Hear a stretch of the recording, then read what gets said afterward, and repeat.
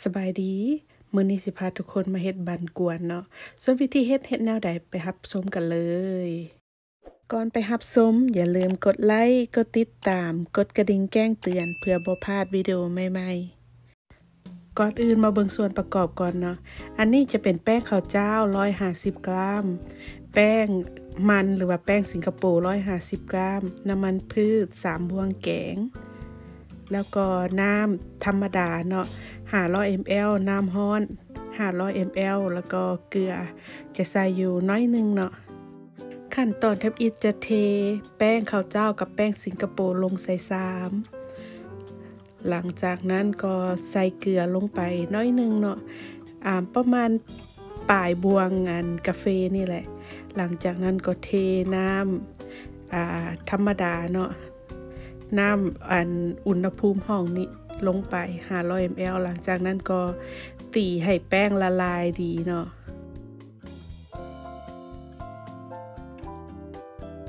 หลังจากแป้งละลายดีแล้วก็เทน้ำร้อนอ่าลงไปเนาะน้ำร้อนนี่กับปริมาณซ้ำกันเนาะ500 ml เทลงไป หลังจากนั้นก็ตีให้มันเข้ากันอีกบาทหนึ่ง แล้วก็ใส่น้ำมันพืชลงไป หลังจากนั้นก็อันพักปะเมียนอย่างหน่อยหนึ่งชั่วโมงเนาะหรือว่าถ้ามันไผ่พักข้ามคืนแห้งดีเนาะแป้งมันแห้งในแห้งได้ลายเนาะหลังจากนั้นมาเฮ็ดน้ำแจวเนาะเทน้ำตาล6บวงตักกินลงใส่หม้อ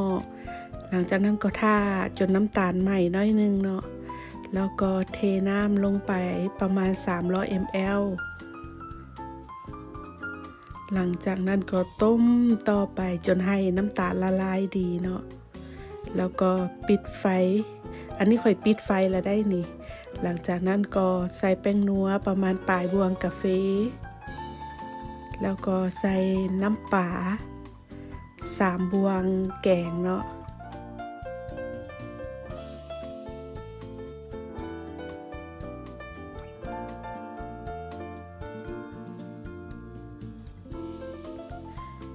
หลังจากนั้นก็คนทุกอย่างให้เข้ากัน แล้วก็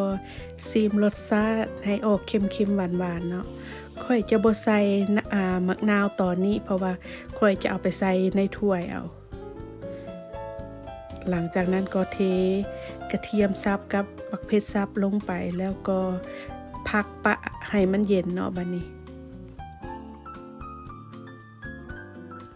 มาเบิงส่วนประกอบที่จะเฮ็ดไส้บันกวนเนาะ มีหอมใหญ่ซับเครึ่องหัว กระเทียมซับประมาณ5-6งิ้ม แล้วก็หมูซับ 400 กรัม อันนี้เห็ดหูหนูซับ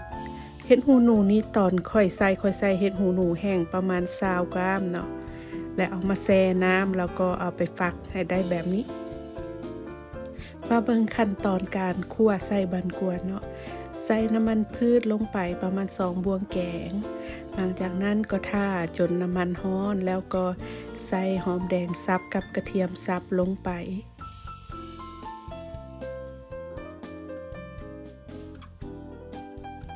คั่วจนอ่ามันออกสีเหลืองเนาะ หลังจากนั้นก็ใส่หมูลงไป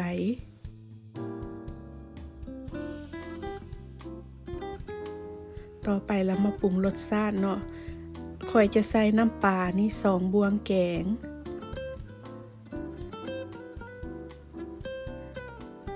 แล้วก็ซอสหอยนางรมสองบวงแกง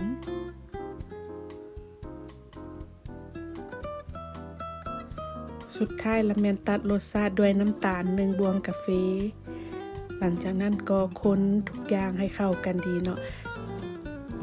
หลังจากนั้นก็ใส่เห็ดหูหนูลงไป แล้วก็ค้นให้เข้ากันเนาะ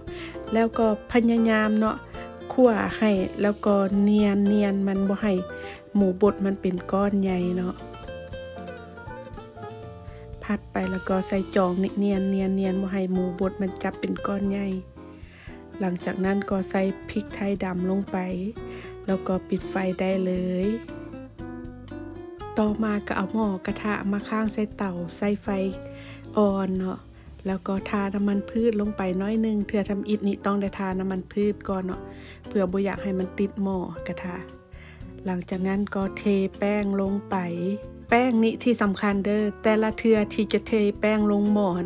ต้องได้คนแป้งก่อนเนาะเพราะว่าแป้งนี่มันจะนอนอยู่ก้นซามหั่นนะ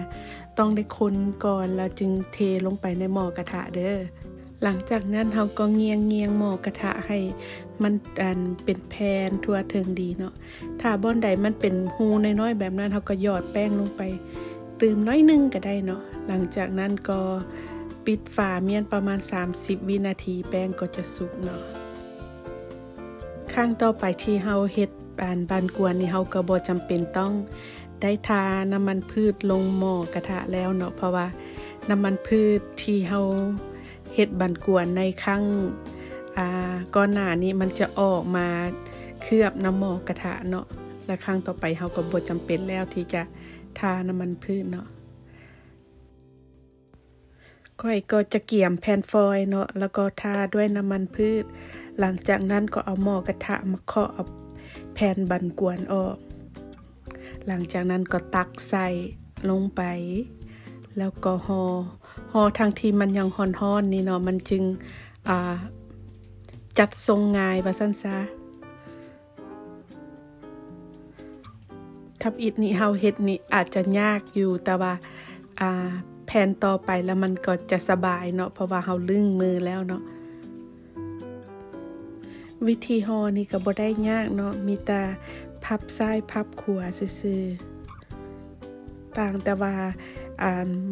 เฮาเฮ็ดตอนมันฮ้อนมันก็อาจจะฮ้อนมือแหน่จักน้อยหนึงเนาะหลังจากห่อแล้วก็จัดใส่จานแบบนี้เนาะเฮ็ดกินเองนี่ใส่ๆแน่นๆ จุกๆโลดกินจึงสะใจเนาะหลังจากนั้นก็เอาหมูยอนี่มาโรยหน้าแล้วก็หอมแดงเจียวเนาะโรยหน้ากินกับแจวส้มหวาน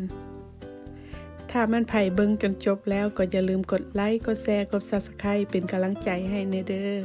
แล้วพบกันใหม่วิดีโอหน้า บ๊ายบาย